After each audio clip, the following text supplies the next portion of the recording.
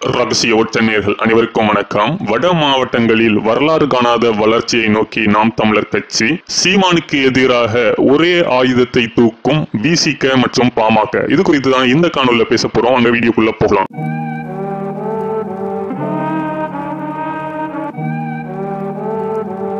தமிழ்நாடு முழுவதுமே ஒரு சர்வே எடுத்து நாம் தமிழர் கட்சியோட வளர்ச்சி எங்க அதிகமா இருக்கு அப்படின்னு நம்ம பார்த்தோம்னா நிச்சயமாக பல முனை போட்டி எங்கெல்லாம் இருக்கோ அங்கதான் நாம் தமிழர் கட்சியோட வளர்ச்சி மிக அபரிதமா இருக்குன்னு சொல்லலாம். அந்த அளவுக்கு கன்னியாகுமரி மாவட்டத்துல திராவிட கட்சிகளான திமுக அதிமுக தேசிய கட்சிகளான காங்கிரஸ் பாஜக கம்யூனிஸ்ட் போன்ற அத்தனை கட்சிகளுமே ஒரு வளர்ச்சியை பெற்றிருக்கும். அவர்களோடு போட்டி போடுவதன் மூலமாக நாம் தமிழர் கட்சி மிகப்பெரிய ஒரு வளர்ச்சியை பெற்றுட்டு இருக்காங்க அதே மாதிரி தான் இப்போ வட மாவட்டங்கள்லயும் திராவிட கட்சிகளான திமுக அதிமுகவோட விடுதலை சிறுத்தைகள் மற்றும் பாமக கட்சியும் அங்க மிகப்பெரிய ஒரு வளர்ச்சியை பெற்றிருக்காங்க. இவர்களுடன் போட்டி போடுவதன் மூலமாக நாம் தமிழர் கட்சி இப்போ வட மாவட்டங்கள்ல வரலாற்றுல இல்லாத அளவுக்கான ஒரு வளர்ச்சியை மிக வீரியமா அடைந்துட்டு வருது. இது திமுக அதிமுகவுக்கு பயத்தை காட்டுதோ இல்லையோ அங்க இருக்கக்கூடிய விடுதலை சிறுத்தைகள் கட்சிக்கும் பாமகவுக்கும் மிகப்பெரிய ஒரு அச்சத்தை ஏற்படுத்திட்டு இருக்கு. தங்களுடைய இருப்பையே நாம் தமிழர் கட்சி காலி பண்ணிடுமோ அப்படிங்கிற ஒரு அச்சம் இந்த இரு கட்சிகளுக்குமே இருக்கு.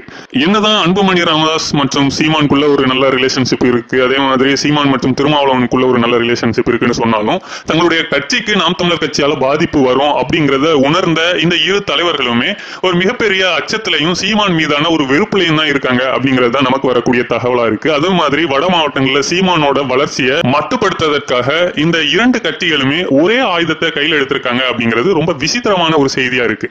அதாவது விடுதலை சிறுத்தைகளும் சரி பாமகவும் சரி கொள்கை ரீதியாகவும் கருத்தியல் ரீதியாகவும் மிகவும் வேறுபட்டவர்கள். பாமக தங்கள் ஒரு சாதி கட்சி தான் அப்படிங்கறத வெளிப்படையாக பேசக்கூடிய ஒரு கட்சி. ஆனா விடுதலை சிறுத்தைகளை பொறுத்தவரை நாங்க அம்பேத்கரிசத்தை ஃபாலோ பண்ணணும் மார்க்சிசத்தை ஃபாலோ பண்ணணும் பெரியாரிசத்தை ஃபாலோ பண்ணணும் சாதியை ஒழிக்க போறோம் அப்படின்ட்டு வக்கனையா பல விடயங்களை பேசுவாங்க. ஆனா சீமானை எதிர்க்கிற இந்த விடயத்துல பாமக எந்த அஸ்திரத்தை எடுத்து நாம் தமிழர் கட்சியை தாக்குறாங்களோ அதே ஒரு அஸ்திரத்தை தான் விடுதலை சிறுத்தைகளும் எடுக்கிறாங்க. பாமக கடந்த சில வருடங்களாகவே சீமான சாதிய ரீதியாக கார்னர் பண்ணி வன்னிய இளைஞர்கள் மத்தியில சீமான் எழுந்து வந்துடக்கூடாதுன்ற ஒரு அஸ்திரத்தை பயன்படுத்திட்டு இருக்காங்க. ஆனா விடுதலை சிறுத்தைகள் கட்சியோ தாங்கள் தான் உலகத்திலேயே உத்தமமான கட்சி தங்களுடைய கருத்தியல் தான் மிகவும் உன்னதமான கருத்தியல் அப்படிங்கிற பெயர்ல ஊரை ஏமாத்திட்டு இருந்துட்டு பின்னணியில சீமானுக்கு எதிரான அதே சாதிய கார்டை கையில எடுத்து சீமான் நம்ம சாதிகாரர் கிடையாது சீமானோட சாதி வேற அப்படிங்கிற மாதிரியான ஒரு மனநிலையை பறையறின இளைஞர்கள் மத்தியில ஏற்படுத்தி நாம் தமிழர் கட்சியோட வளர்ச்சியை பறையர்கள் மத்தியில மட்டுப்படுத்திடலாங்கிற ஒரு கார்டை எடுத்து பிளே பண்ணிட்டு இருக்காங்கிறதும் இப்போதைக்கு நமக்கு வரக்கூடிய தகவல்களா இருக்கு. இதை பல பறையறின இளைஞர்களே நம்மளிடம் தெரிவித்து ரொம்பவே ஆதங்கப்பட்டு இருக்காங்க. இந்த அளவுக்கு இந்த அரசியல் அப்படிங்கிறது விடுதலை சிறுத்தைகள் கட்சியுமே ரொம்ப மோசமான நிலைக்கு கொண்டு போயிருக்கு அப்படிங்கிறாங்க. ஆனா இதையெல்லாம் தாண்டி நாம் தமிழர் கட்சி வன்னியர் இளைஞர்கள் மத்தியிலும் சரி பறையறின இளைஞர்கள் மத்தியிலும் சரி மிகப்பெரிய ஒரு வீரியத்தோட வளர்ச்சி அடைஞ்சிட்டு தான் இருக்கு. அதை தாண்டி வட மாநிலத்துல செங்குந்த